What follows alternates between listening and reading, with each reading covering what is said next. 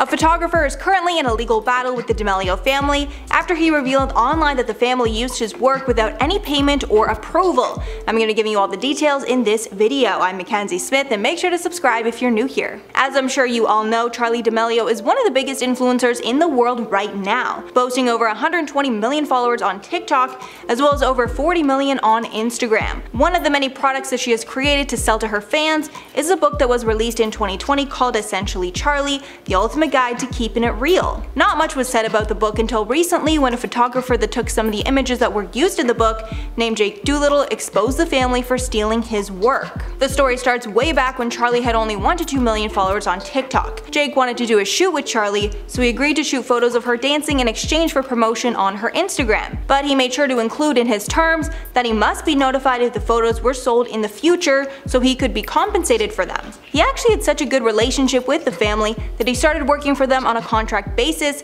taking tons of photos of Charli and the family. But over time the family decided they no longer wanted to work with him, so they respectfully parted ways. That was until Jake realized that Charli had released a book and used his photos in that book. At first he was flattered to be in a book and his photos were credited at the back. However, he then realized her team broke his agreement and they did not get his approval to use his work, therefore they didn't give him an opportunity to be paid. This is when he started to bring attention to this on social media, and he started tweeting at the family saying that they made millions off of his photos. This started to gain traction in the media, which got the attention of the D'Amelio family's legal team. Because of what he posted online, their lawyers contacted him, telling him to delete the tweets that he made about the situation. He sent a video about the situation, quote, I got a call from someone at the D'Amelio team asking me to delete all the posts, scaring me into not making a video saying more about it, and threatening to get lawyers involved if I keep spreading what they deem as false information. He said that he ended up deleting everything because he was scared, but he should have known it would make people doubt his story story.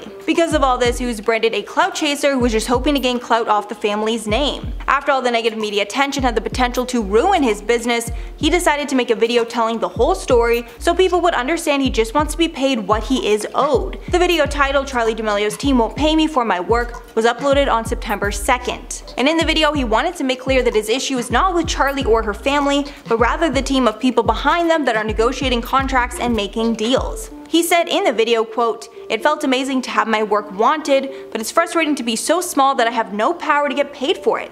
Adding quote, it makes me think I can't be the only person that has this happen to. He didn't really add much to a conclusion in his video of what he wants to happen next, but I assume he just wants to be paid for his work then all of this will be over. But it seems that instead of paying him, the team would rather pay lawyers to silence him. Jake says that since this incident gained traction, he has now gained representation, so hopefully he came out of the situation better than before. Guys, please let me know your thoughts on this one below. I'd especially love to hear your thoughts if you are a photographer or kind of something like that that's done freelance work and has had issues with your material being used without your knowledge. Yeah, because I don't really do work like that, so I can't really relate, but I can imagine this happens quite a lot. A lot of people in the comments of his video were saying that it's very commonplace for companies to use younger, more experienced uh, photographers so they can use their work for very, very cheap, sometimes not even pay them, and just kind of, I guess, make their bottom line even bigger. It's crazy. But again, leave your thoughts below and make sure to like and sub to the channel if you're new here and want to see more. I've been your host, Mackenzie Smith. Make sure to check us out on social media, and I'll catch you all in the next one.